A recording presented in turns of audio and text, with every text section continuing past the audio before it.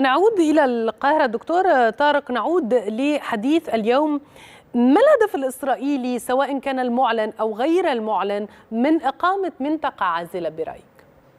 أنا في تقديري أن إسرائيل دخلت مرحلة الترتيبات الأمنية لكن هناك بالفعل خلاف داخل مجلس الحرب حول الأولويات والمهام التي يمكن أن تعمل عليها إسرائيل في هذا التوقيت. وإسرائيل ليست نتنياهو برغم كل ما يجري يعني يجب الانتباه إلى انه القضية ليست في وجوده في المشهد أو تصميمه على إدارة المشهد بهذه الصورة.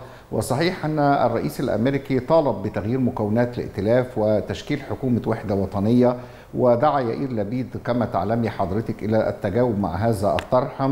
ووجود سيل بين استطلاعات الرأي في إسرائيل ترجح أن جانتس ربما يكون هو الأكثر حظا وإن الليكود تدنى دوره. كل هذه الأمور بتمضي في سياق مباشر. لكن الترتيبات الأمنية سيدتي ترتبط بالبعد السياسي وإنه لابد أن تكون إسرائيل أيضا على وعي كامل بأن هذه الترتيبات ربما ستؤدي إلى ضرر كبير بعلاقاتها الإقليمية والدولية وخصوصا من قبل مصر على سبيل المثال القاهرة لديها تحفظات كبيرة على كل ما يجري جزء منه مرتبط بمخطط الترانسفير نجحت القاهرة بمهارة في إفشاله وإدخال أطراف أخرى بالمناسبة لبحث الحل في القطاع. الأمر الآخر هو سعي إسرائيل إلى التعامل الانفرادي بمعنى إجراءات انفرادية.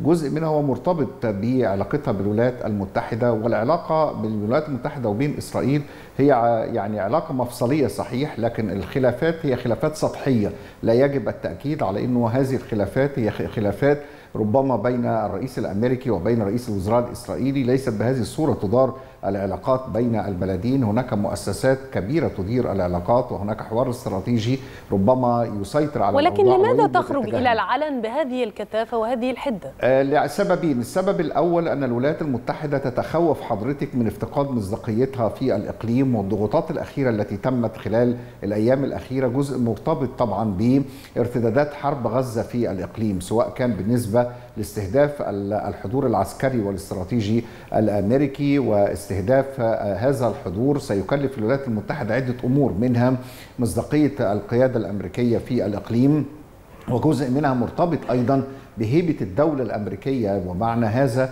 أن الولايات المتحدة تنظر برؤيه أشمل إنه دعمها الكامل والمطلق لإسرائيل سيكلفها الكثير. ليست القضية انخفاض شعبية الرئيس الأمريكي أو الانتخابات الأمريكية أو اعتراضات الجمهور الأمريكي فقط لكن مكانة الولايات المتحدة في الإقليم تتعرض لهزة كبيرة جزء منها مرتبط بالعلاقة مع الغير مباشرة مع إيران وكيفية محاولة السيطرة على أداء الوكلاء وربما أيضا موقف الدول الأوروبية.